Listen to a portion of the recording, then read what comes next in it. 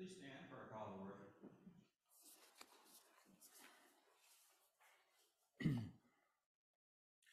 O Lord, you have searched me and known me. You discern my thoughts from far away. Even before a word is on my tongue, O Lord, you know it completely. I praise you, for I am fearfully and wonderfully made. Wonderful are your works. Many are your thoughts, O God. I try to count them. They are more than the sand. Let us worship. God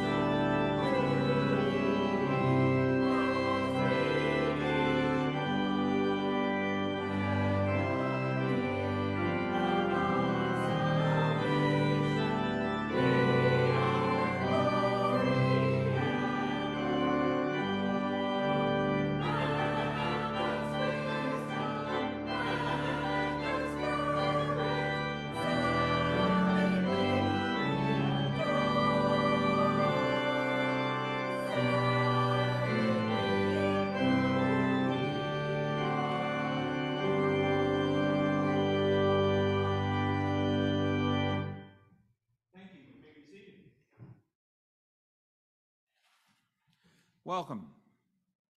And welcome on this cool, crisp, but sunny morning. We're glad to have you here at worship at First Presbyterian Church.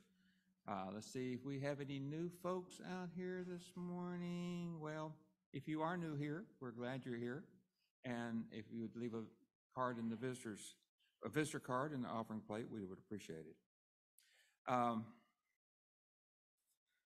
not a whole lot of announcements for this week. Uh, I think the world is freezing up, so uh, it's a light schedule.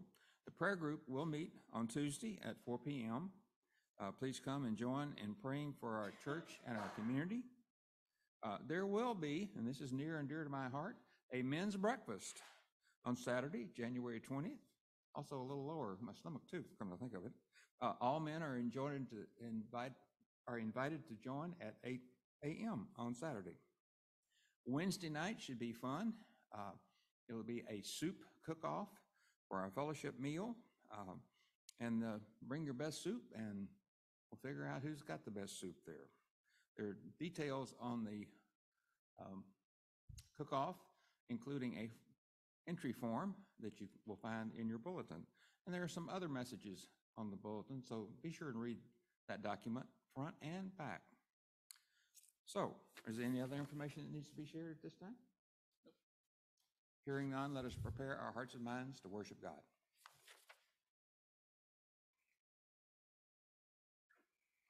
Actually, between there and here, I did think of something else. Uh, and that is uh, about the prayer group. We have a wonderful prayer group that meets on Tuesdays. We get together for 45 minutes or so and we pray.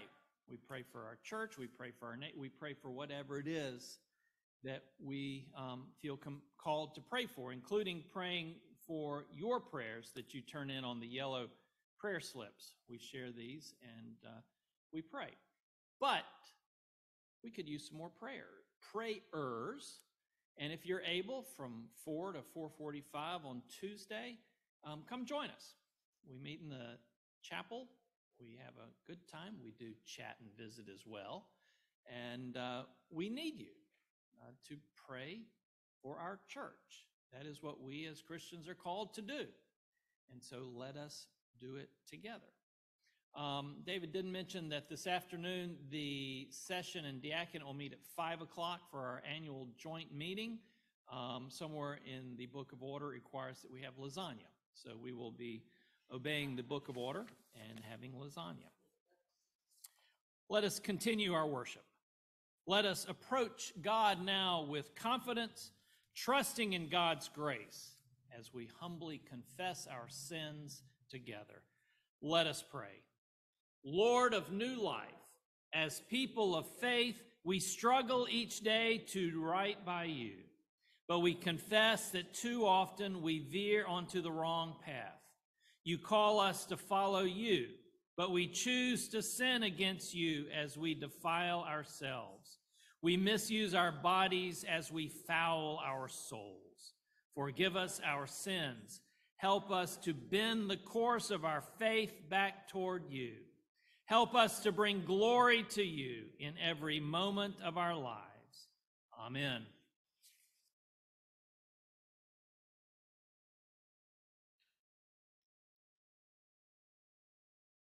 Our assurance of pardon.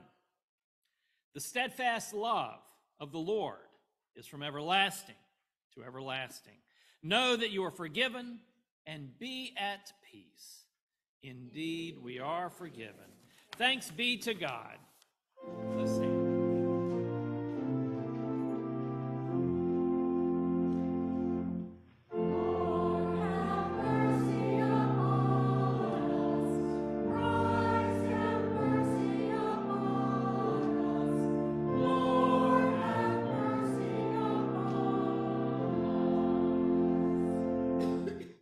Christ is truly the peace of our lives. He has reconciled us to God in one body and one spirit through his sacrifice on the cross. May all we do, we do in his holy name. May the peace of Christ be with you.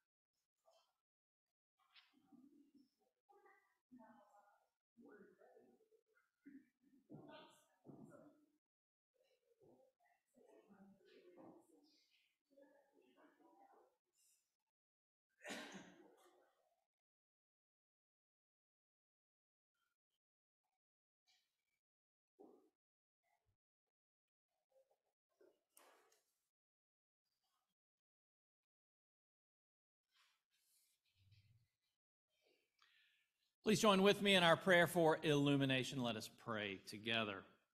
Prepare our hearts, O God, to accept your word. Silence in us any voice but your own, that hearing me may also obey your will. Through Jesus Christ our Lord. Amen. Our reading today comes to us from Paul's letter to the Corinthians, chapter 6. Um, on Wednesday nights, uh, after dinner, we hold a Bible study, and this Bible study always focuses on the passage that's coming up for Sunday. So last week, last Wednesday, we looked at this passage. Um, and I recorded it, and I hope to do this in the future and have posted it on our church's website in the sermon library section. I put a notice in the newsletter. So if you miss the Wednesday supper and would like to get a jump on Sunday's sermon, I invite you to go to the website and listen to the um, listen to the Bible study. Oddly enough, the Bible study is longer than the sermon. I don't know, 20 minutes. but in this one in particular, there was a lot of ground to cover. So let us hear these words of the Apostle Paul. All things are lawful for me, but not all things are beneficial. All things are lawful for me, but I will not be dominated by anything. Food is meant for the stomach, and the stomach for food. And God will destroy both one and the other. The body is not meant for fornication, but for the Lord, and the Lord for the body. And God raised the Lord and will also raise us by his power. Do you not know that your bodies are members of Christ?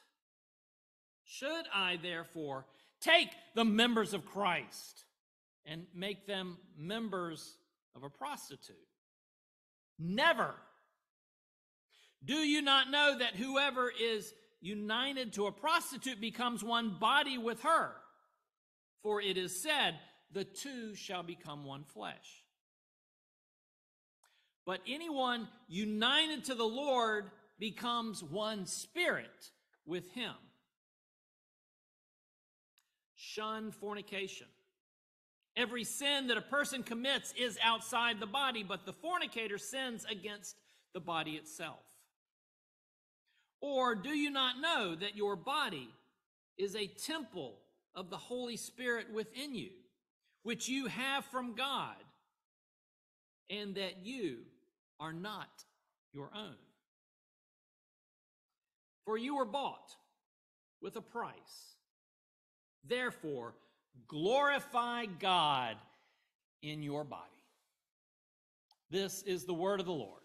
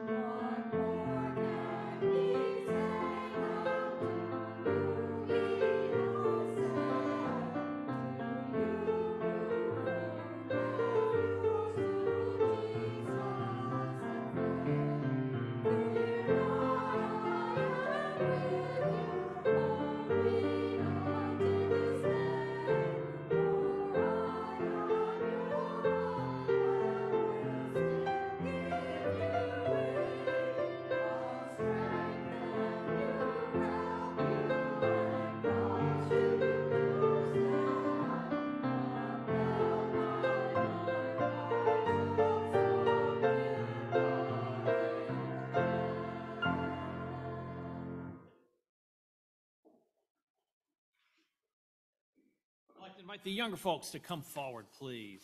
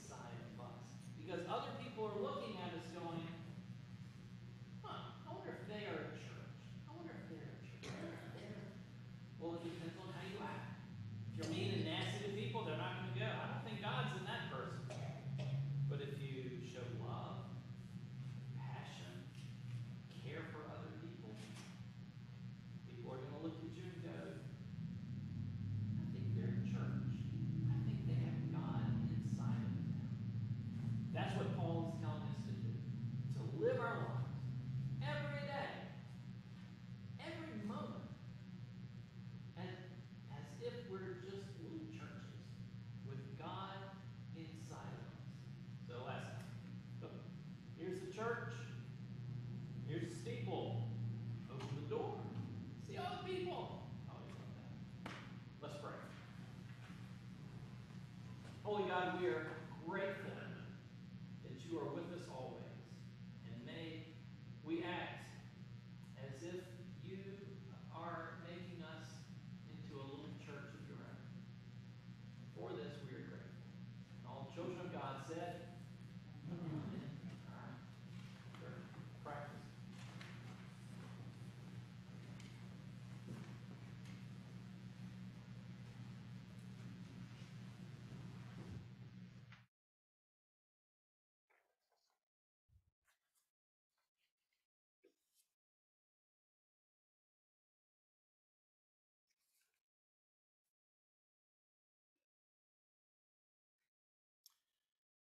A rather odd story hit the national news right before the end of the year. You may have seen it. It had to do with a university president.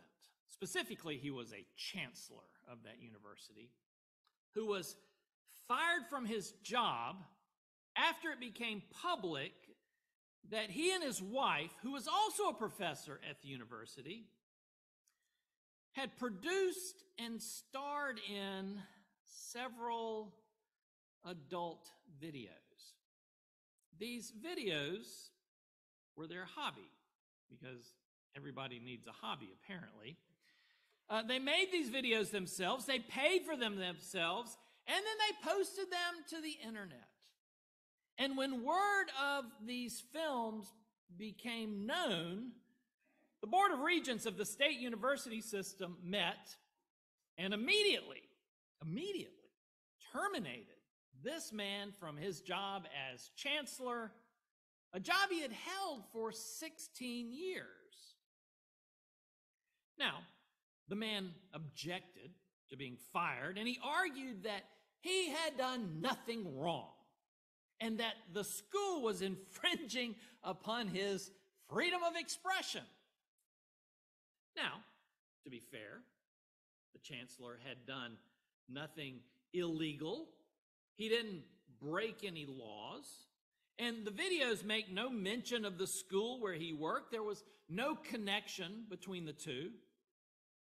And on the other hand, to be clear, the school did not impinge upon his freedom of expression because he is still quite free to express himself in this way or any other way. He just can't do it as chancellor of a university. The school does not have to condone this action. Now, the school took the right step in dismissing this man because, as chancellor, he's the face of the university, and as such, he's responsible to represent the ideals and virtues of that institution. In their statement about the firing, the Board of Regents said the ex chancellor had shown a reckless disregard for the role he was entrusted with to serve students, faculty, and staff, and the campus community. As a parent, I certainly want wouldn't want my child going to some school where this man was in charge, and I can't imagine that any of you would either. And so it was at this point, as I was watching this news broadcast, that I was reminded of one of my favorite sayings. This is one of little truisms that I keep tucked in my head. And it goes like this Just because you can doesn't mean that you should. And I say this a lot, usually to myself in my car when someone flies past me weaving in and out of traffic. Yes, you may be able to drive like that, but is it really the right thing to do? That chancellor and his wife, well, were they free to make and post these adult videos? Absolutely, they were. Was it the smart thing to do? Eh, probably not.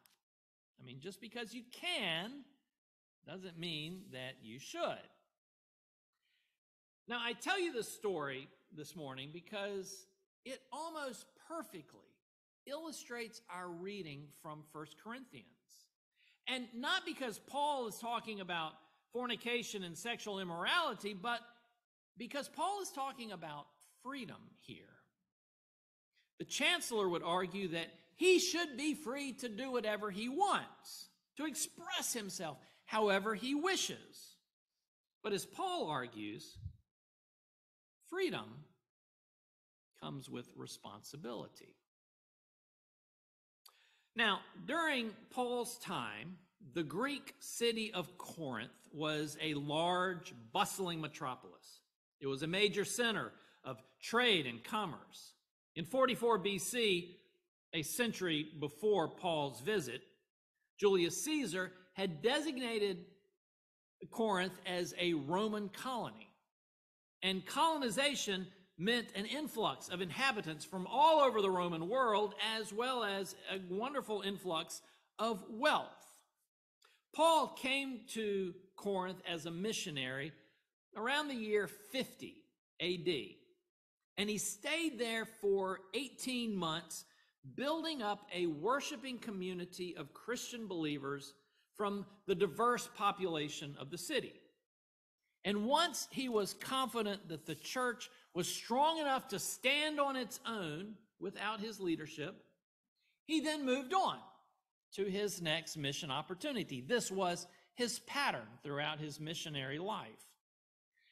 But as was his custom, Paul kept in contact with his former parish, and it was not very long before he received word that there were significant points of conflict growing within the congregation. And so, in response to this conflict, he wrote letters back to the congregation with his words of teaching, guidance, encouragement, and love. Today, I am starting a five week series called Faith Refracted Confronting Corinthians in the Season of Epiphany. Now, Epiphany is a time we're in right now. It's a time on the church calendar that begins on the day of Epiphany. Anybody know what date that is? January 6th, yes. Also known as 12th day of Christmas. Yes. January 6th, Epiphany, 12th day of Christmas. The word epiphany is Greek and it means manifestation. And the Bible story that we associate with Epiphany is the visit of the wise men. These are the first non Jews to pay homage to the Christ child. And the divinity of Christ is made manifest with them. I'll be talking about this a lot more in the future weeks. The season of Epiphany begins on January 6th and it ends with Lent. And during this season this year, I will be preaching from the books of 1st and 2nd Corinthians. As I mentioned, this letter to the church in Corinth addresses a number of issues that were plaguing that congregation. Issues such as members of the church suing one another, the practice of idolatry, chaos in worship, the role of women in the church, the inequality that was found at church fellowship meals, and more. As one scholar put it, the church in Corinth was, quote, a hot mess.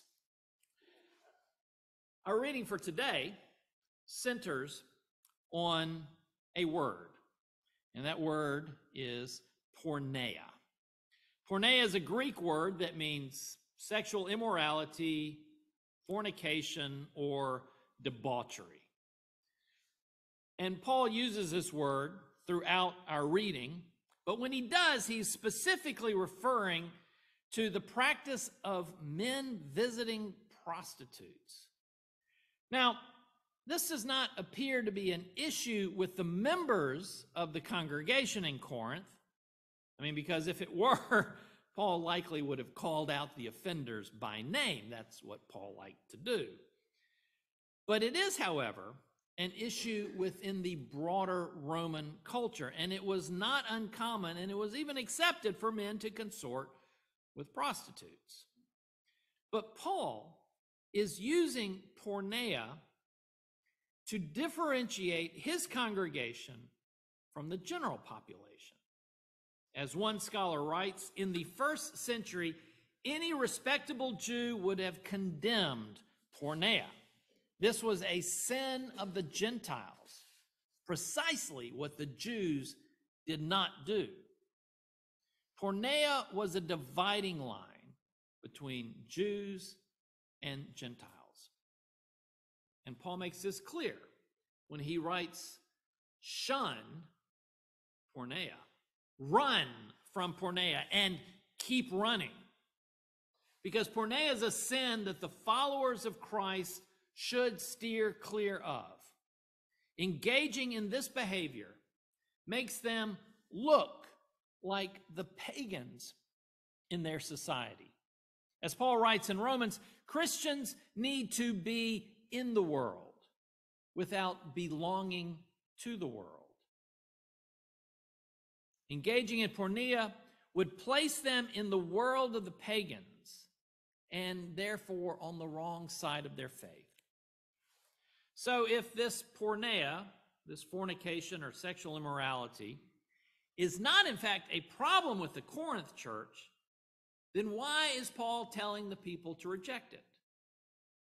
Because because he's using this subject to make a greater point about our relationship with God. Our reading for today begins with this statement All things are lawful to me. Another way to say that would be I've got the right to do anything I want.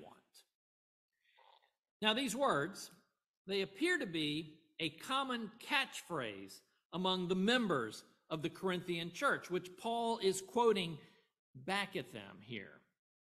Now, when he was with them, Paul taught that in Christ, yes, they have freedom, a new freedom. But some members of the church, it appears, some have taken this to an extreme with the belief that, well, they're free to do anything because now they are with Christ. And when they are with Christ, the rules of the world no longer apply to them.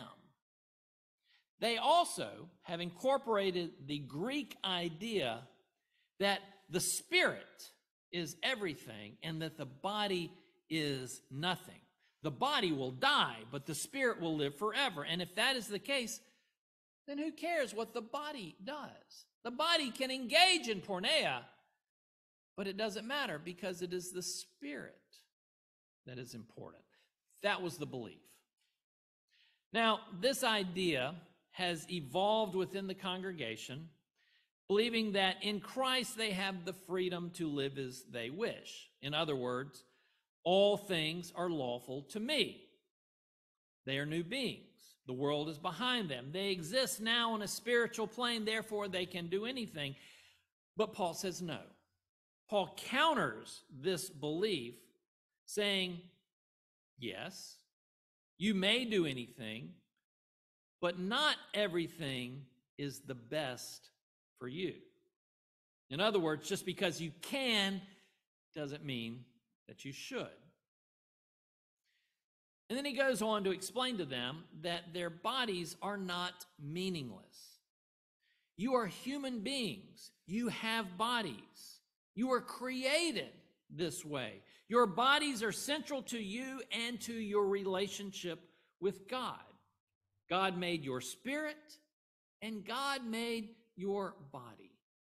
Your t- body is a temple to God and you should treat it as such. And by temple, Paul doesn't mean that they are to lift weights until they've carved out a physique like Adonis. No. He means that they are to conduct themselves as if their body is home to God.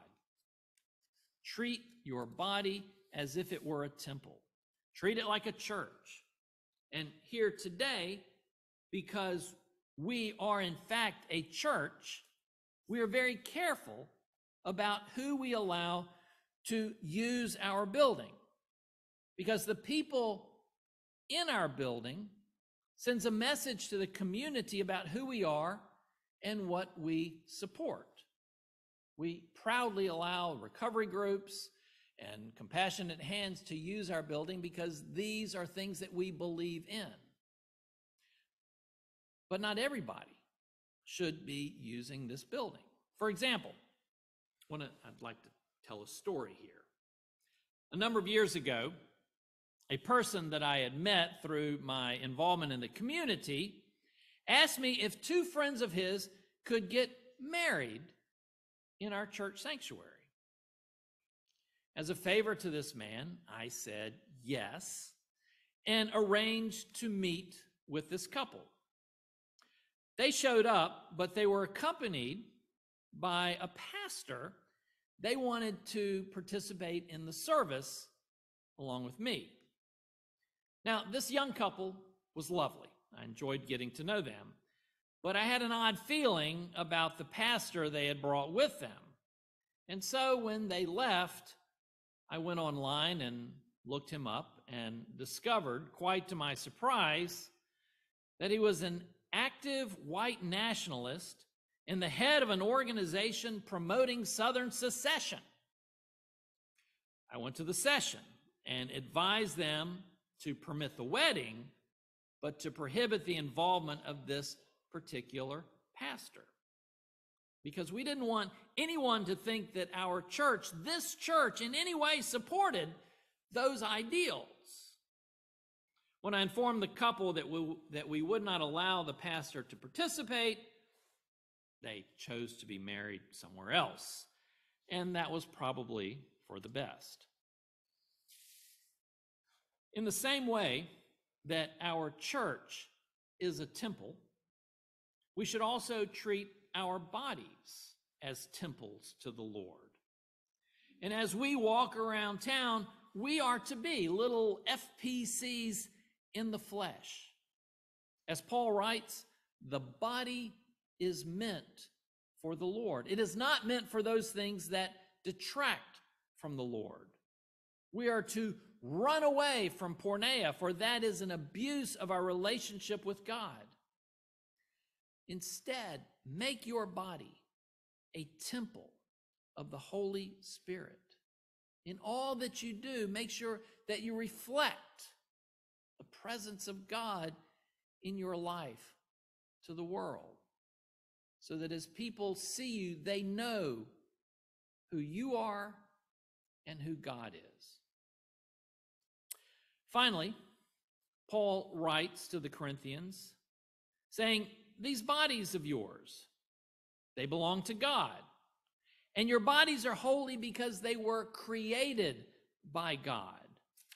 And yes, you may die, but in the end, there will be a bodily resurrection, just as Jesus Christ was resurrected. And this bodily resurrection is not free, it comes at a cost. The cost of the price of Christ's sacrifice on the cross. Jesus gave his body so that we might live.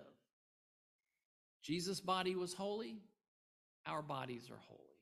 Jesus gave his body for us. If we were to say that our bodies are worthless, then we are denouncing the sacrifice of Christ. Your body was bought with a price.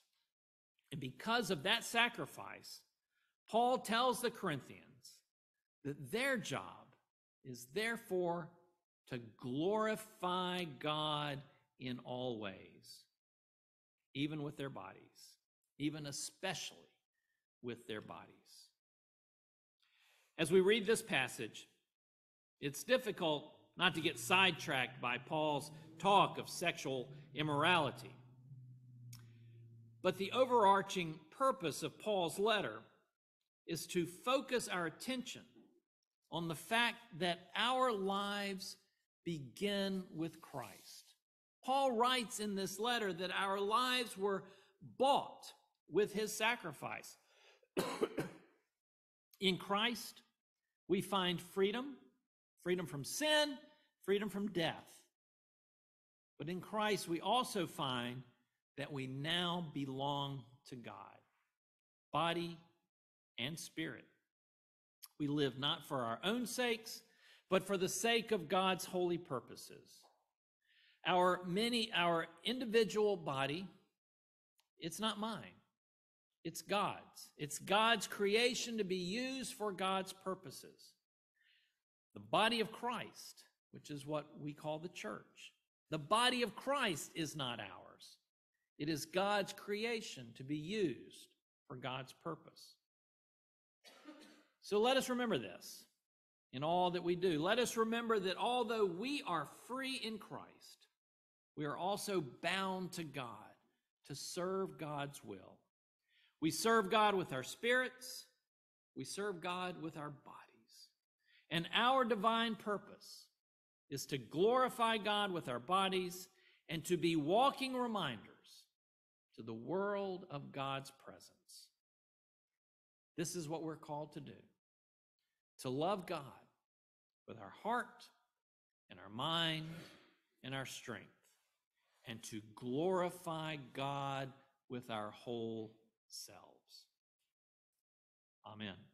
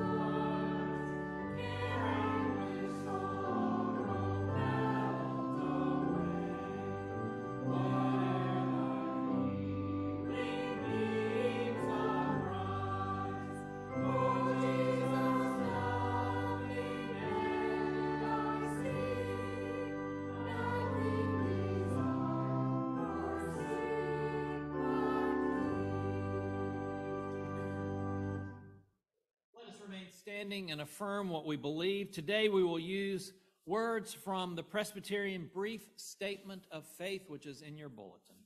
Let us confess together. We trust in God, whom Jesus called Abba, Father.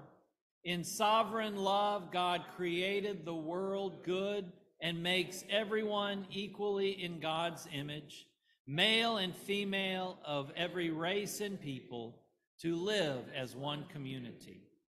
But we rebel against God. We hide from our Creator, ignoring God's commands. We violate the image of God in others and ourselves, accept lies as truth, exploit neighbor and nature, and threaten death to the planet entrusted to our care. We deserve God's condemnation. Yet God acts with justice and mercy to redeem creation. In everlasting love, the God of Abraham and Sarah chose a covenant people to bless all families of the earth. Hearing their cry, God delivered the children of Israel from the house of bondage. Loving us still, God makes us heirs with Christ of the covenant, like a mother who will not forsake her nursing child, like a father who runs to welcome the prodigal home. God is faithful still. Please be seated. Let us pray. Almighty God, our offerings are only a portion of all that you have given us. We gratefully present these gifts and entrust them to your work in the world.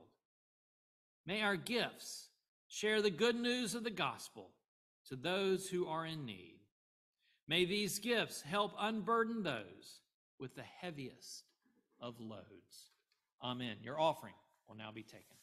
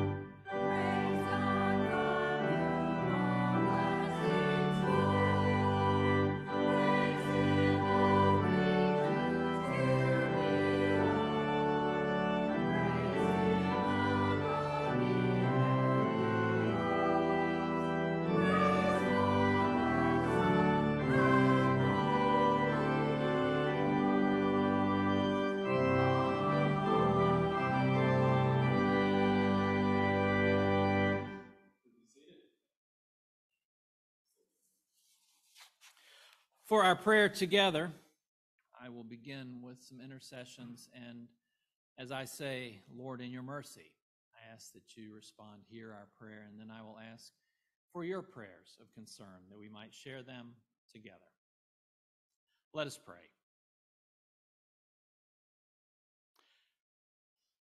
God of the resurrection, we praise you for always searching us out for knowing us so intimately, and for being acquainted with all our ways. We acknowledge our sinfulness and we ask you to guide us in the way of everlasting. Lord, in your mercy, hear our prayer. We thank you, O Lord, for our relationship with the Compassionate Hands Ministry and its mission to provide not just shelter, but love to the unhoused people in our community. And as we gather in the grip of winter, we pray for those who are out living on the streets. Lord, in your mercy, Holy God, we lift up to you those who have been killed, injured, or displaced because of human violence, especially those in Ukraine, Israel, and Palestine. Comfort the survivors, strengthen those who treat the injured, and provide the necessary humanitarian aid to help them all. We pray not just for an end of violence but we pray for an enduring peace among all peoples. Lord, in your mercy,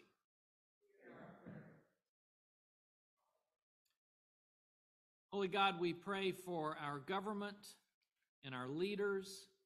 We pray for the president and the governor, as well as those at county and community levels. We pray that you will give them the wisdom as they face the challenges of leadership. Lord, in your mercy.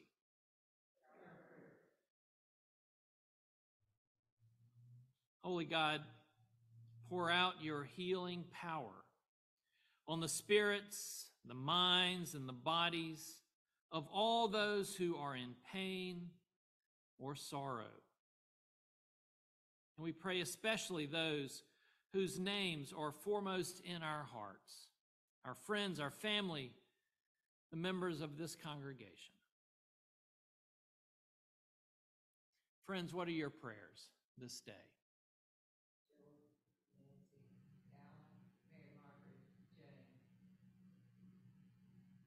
Lord, in your mercy.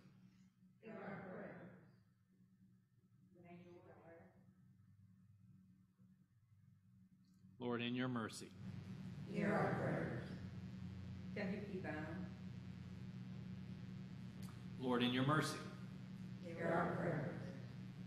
Jack's daughter Jennifer Browning. Lord, in your mercy. Hear our prayers. Lynn Hutchcraft. Lord, in your mercy. Hear our prayers. Cheryl Jones. Lord, in your mercy. Hear our prayers. Danny Croft. Lord, in your mercy. Hear our prayers.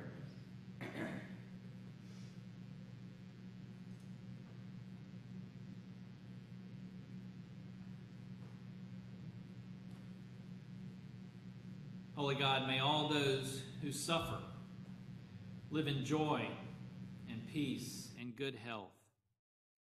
And we pray that you will give skill and patience to all caregivers and family members and friends. May we all pray for the well being of those we love and those we don't. Lord, in your mercy, and let us continue praying with the words that Jesus taught his disciples to pray, saying, Our Father, who art in heaven, hallowed be thy name. Thy kingdom come, thy will be done, on earth as it is in heaven. Give us this day our daily bread, and forgive us our debts as we forgive our debtors. And lead us not into temptation, but deliver us from evil. For thine is the kingdom, and the power, and the glory forever. Amen.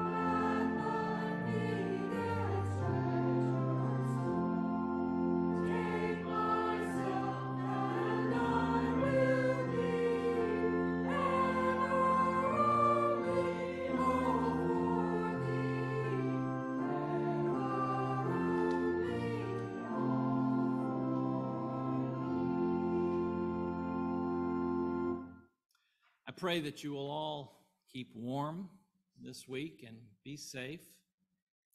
May the Lord bless you and keep you.